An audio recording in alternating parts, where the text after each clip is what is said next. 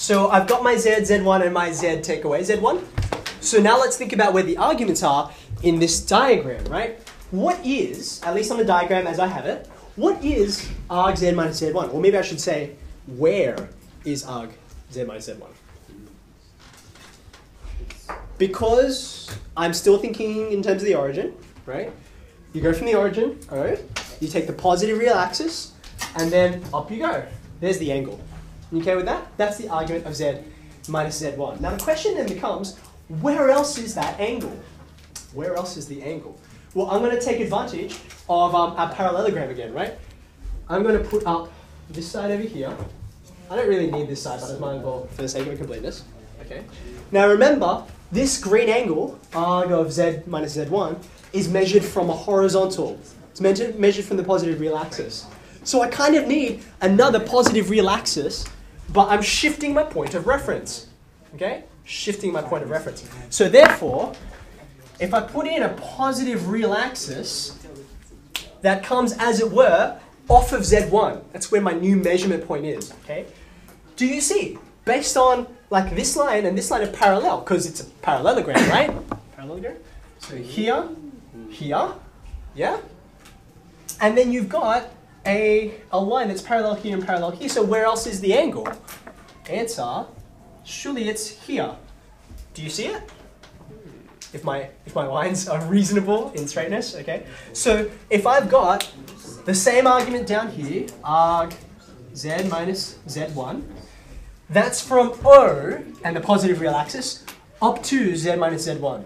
Let me get that first definition.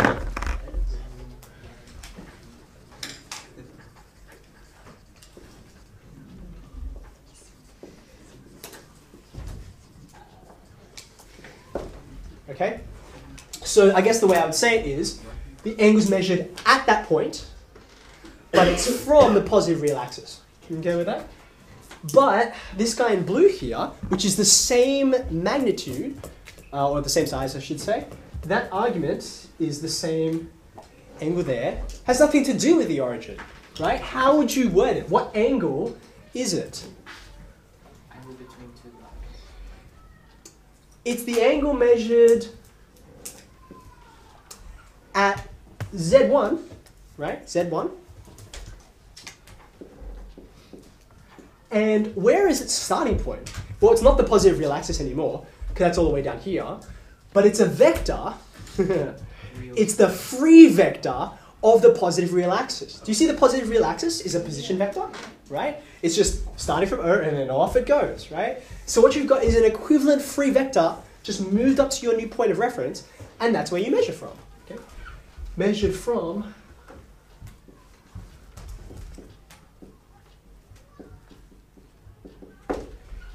I don't really need to say it's from Z1 because I just said it's from Z1. Okay?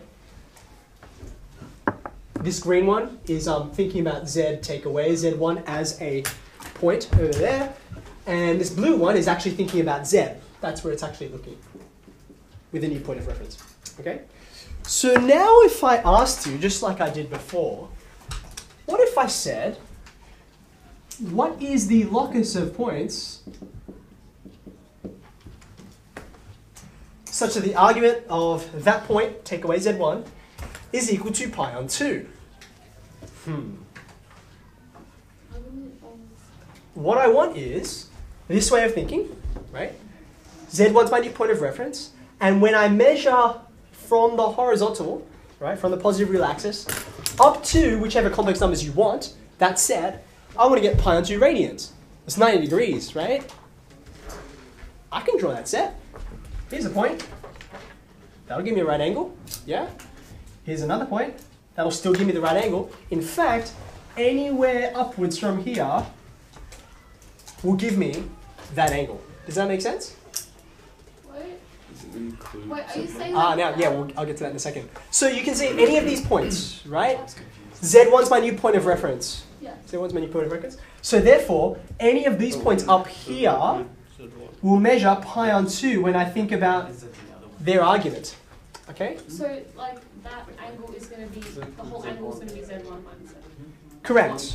That's exactly right. Okay? So all of these points have an argument of pi on 2 Yeah. measured from z1. Okay. Okay? Now, the question becomes what about z1?